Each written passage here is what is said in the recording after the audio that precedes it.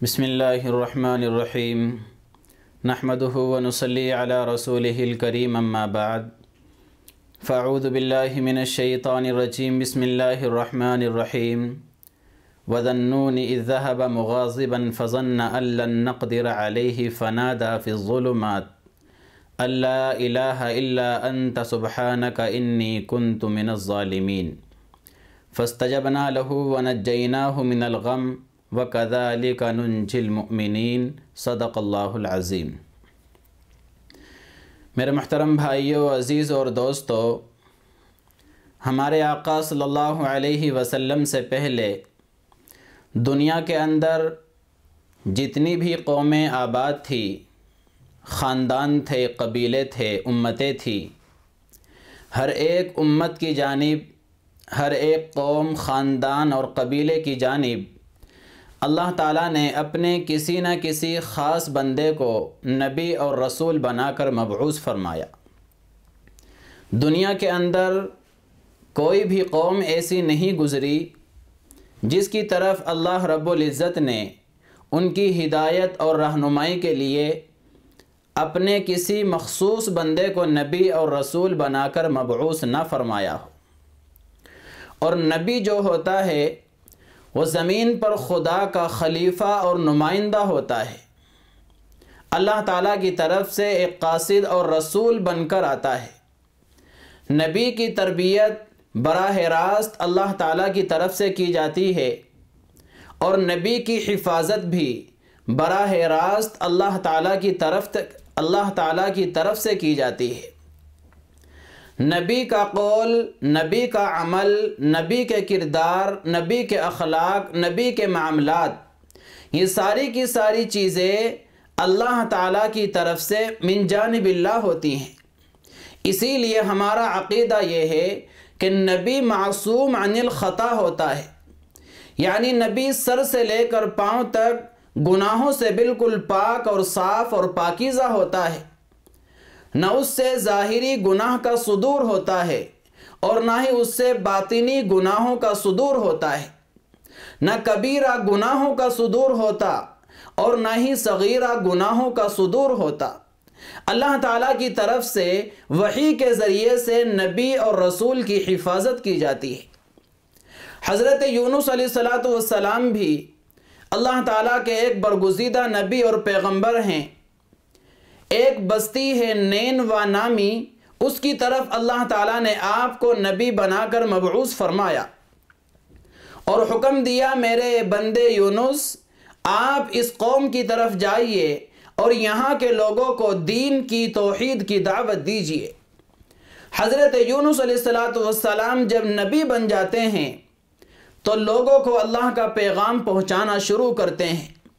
گھر گھر جا کر اور در در جا کر لوگوں کو اللہ کا پیغام سناتے، توحید کی دعوت دیتے، ایمان کی دعوت دیتے، لوگوں کو اللہ کا تعارف کراتے، کبھی زمینی دلائل دیتے، کبھی آسمانی دلائل دیتے، کبھی لوگوں کو خدا کی تخلیق کے بارے میں سمجھاتے، کبھی خدا کی مخلوقات، مصنوعات کے بارے میں سمجھاتے، طرح طرح سے لوگوں کو اللہ کا تعارف کراتے تھے۔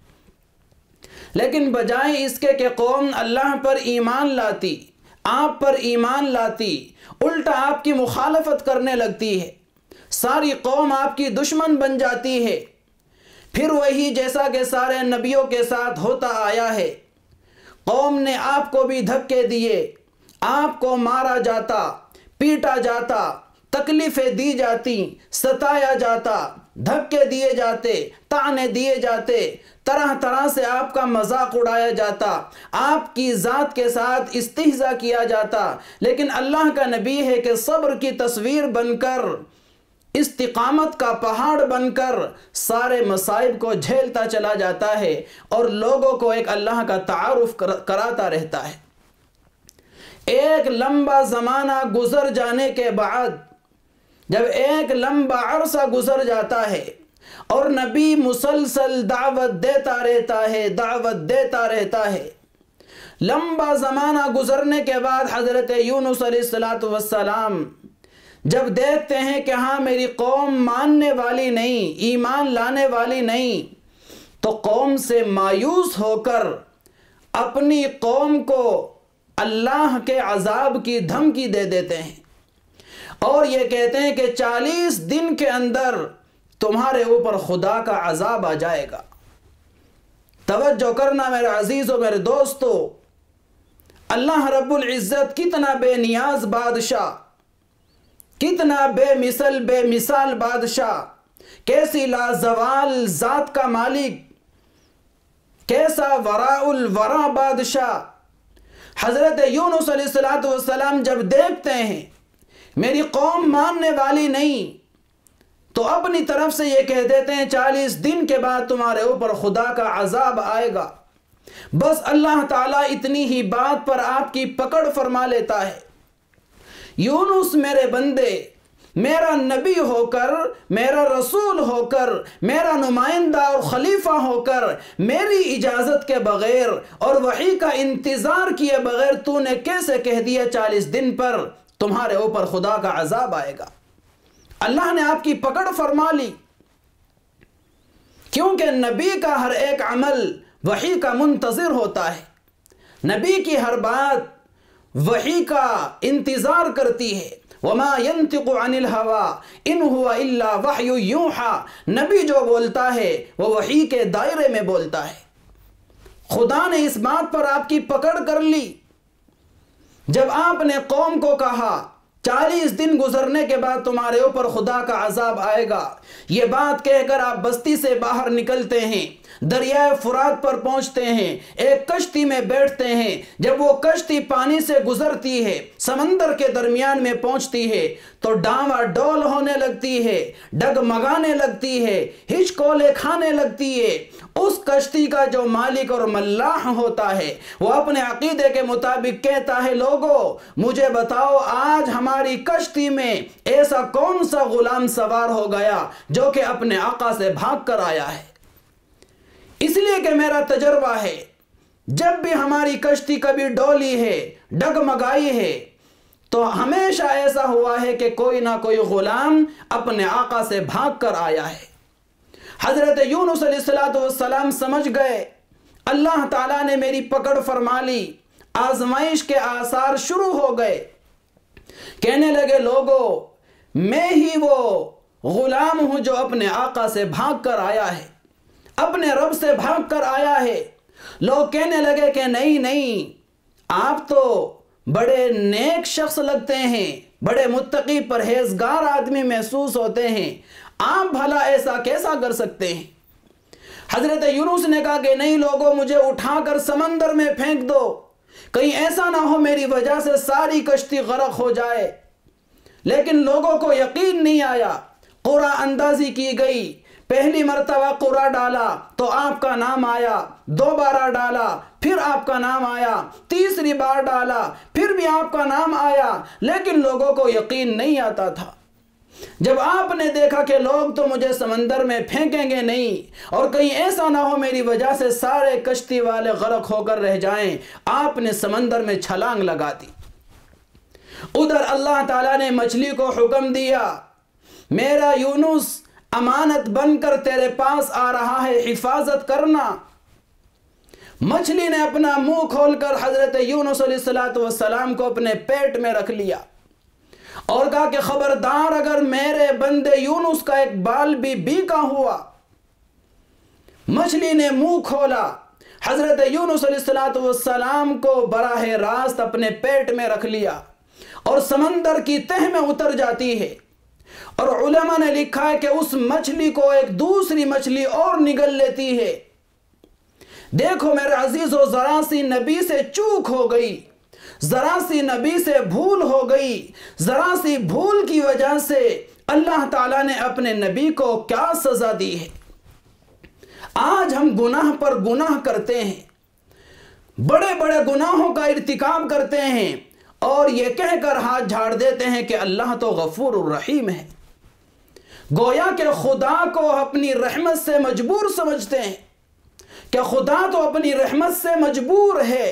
ہم کتنے ہی بڑے گناہ کرتے رہیں، گناہوں پر گناہ کرتے رہیں، غفور الرحیم کا نام لے کر وہ سارے ہی معاف کر دے گا۔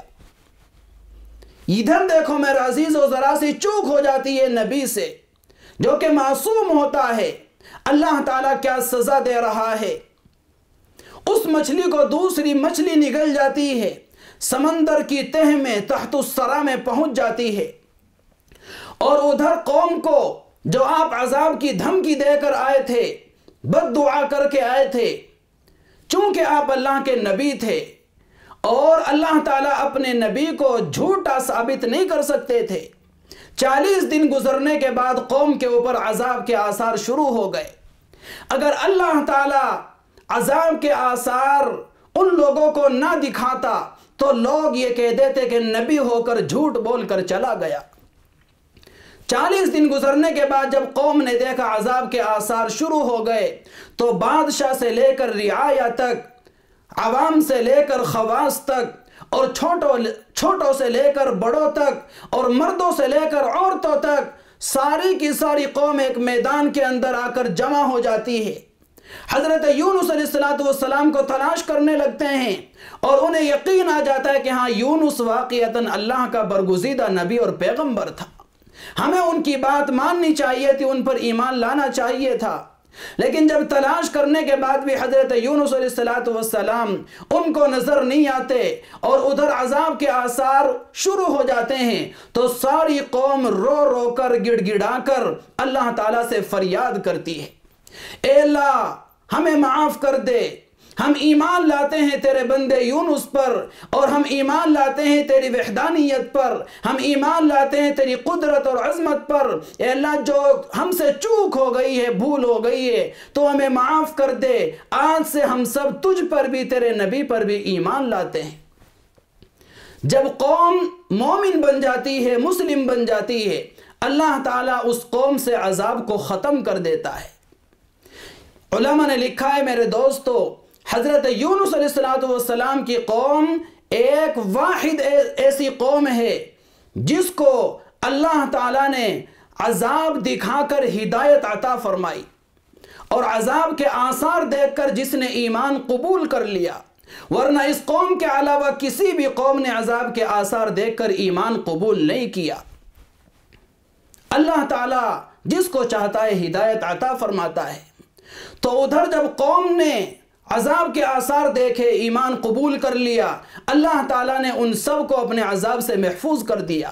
اور ادھر حضرت یونس علیہ السلام مچھلی کے پیٹ میں، سمندر کی تہ میں تحت السرا میں اپنی ذرا سی چوک کی وجہ سے سزا بھگت رہے ہیں۔ ابن عباس رضی اللہ تعالیٰ عنہ نے فرمایا، حضرت یونس علیہ السلام نے جب سمندر کی تہ میں اترے تو دیکھا کہ وہاں کے کنکر، وہاں کے پتھر اللہ کی تسبیح بیان کر رہے ہیں۔ اور مچھلیاں بھی اللہ کی تسبیح بیان کر رہی ہیں۔ تو ایک دم خدا کی یاد آئی اور سوچنے لگے کہ اللہ تعالیٰ تو ہر چیز پر قادر ہے۔ میں بھی اللہ تعالیٰ کو پکارتا ہوں۔ میرا رب تو ہر چیز پر قادر۔ بہت ممکن ہے میرا رب میرے لیے نجات کا سامان پیدا کر دے۔ چنانچہ تحت السرا میں مچھلی کے پیٹ میں تین اندھیروں میں حضرت یونس علیہ السلام کو، حضرت یونس علیہ السلام نے اللہ کو پکارا۔ فنادا فی الظلمات، اللہ الہ، اے اللہ، تو واحد ہے، یکتا ہے۔ تیری ذات و صفات میں میں کسی کو شریک نہیں مانتا۔ سبحانک، تیری ذات ہر قسم کے عیوب سے پاک ذات ہے۔ انی کنت من الظالمین اے اللہ، میں ہی ظالم تھا، میں ہی مجرم تھا، میں ہی خطاکار، گنہگار تھا۔ اے اللہ، تو مجھے معاف کر دے، تو مجھے معاف کر دے، تو مجھے معاف کر دے۔ جب بڑے گڑ گڑا کر حضرت یونس علیہ السلام نے اللہ سے یہ دعا مانگی، میرے دوستو، اللہ کو ان کے حال پر رحم آ جاتا ہے۔ اور خود اللہ نے فرمایا، فلولا انه كان من المسبحين للبث في بطنه الى يوم يبعثون۔ اگر میرا بندہ یونس میری پاکی بیان نہ کرتا، قیامت تک میں اس کو مچھلی کے پیٹ میں رکھتا۔ لیکن اللہ تعالیٰ کو رحم آ گیا۔ آپ کی توبہ کو دیکھ کر، رونے دھونے کو دیکھ کر، اللہ تعالیٰ نے آپ کے لیے نجات کا سامان پیدا کیا۔ مچھلی کو حکم دیا کہ میرے بندے کو باہر ساحل پر ڈال دے۔ میری امانت تھی، میری امانت کو واپس کر۔ مچھلی نے حضرت یونس علیہ السلام کو ساحل پر لا کر ڈال دیا۔ پھر اللہ تعالیٰ نے ایک بیل دار پودا اگا کر آپ کے لیے سائے کا کھانے پینے کا انتظام کیا۔ جب کچھ زمانہ گزرنے کے بعد آپ صحیح ہو جاتے ہیں، تندرست ہو جاتے ہیں، پھر اللہ تعالیٰ آپ کو حکم دیتا ہے کہ چلو یونس، اب دوبارہ سے اپنی قوم کی طرف جاؤ اور وہاں جا کر دوبارہ سے دعوت اور تبلیغ میں مصروف ہو جاؤ۔ جب حضرت یونس علیہ السلام اپنی قوم میں آتے ہیں، ساری قوم دیکھ کر آپ کو خوش ہو جاتی ہے۔